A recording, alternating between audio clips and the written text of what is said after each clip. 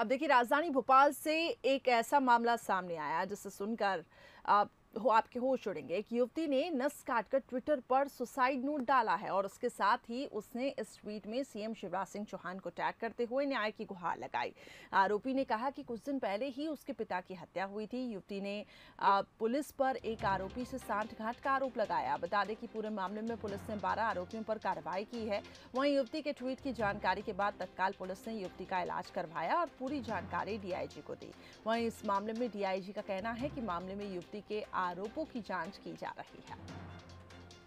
बहुत लाचार है बहुत बेचारे, बहुत गरीब। न्याय की भीख मांग रहे हैं सरकार से। छह महीने हो गए, पर कोई न्याय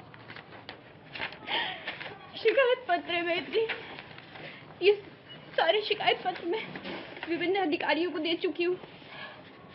मेरे पास सारे सबूत है।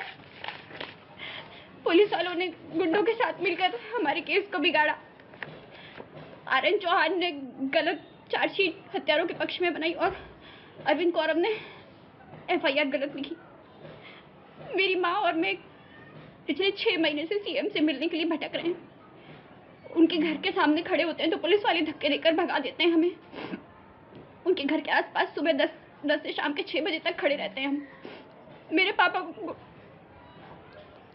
सिर्फ़ न्याय की आँख लेकर हम ज़िंदा थे। पर अंधा और बहरा प्रशासन सुनने को तैयार नहीं है।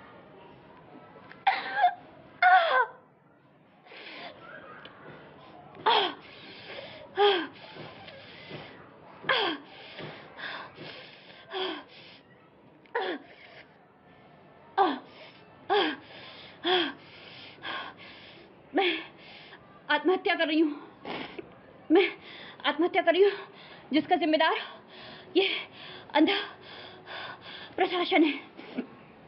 प्रशासन ही मेरी मौत का जिम्मेदार जिम्मेदार जिम्मेदार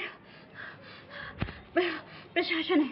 मेरी मौत का जिम्मेदार जिम्मेदार जिम्मेदार जिम्मेदार।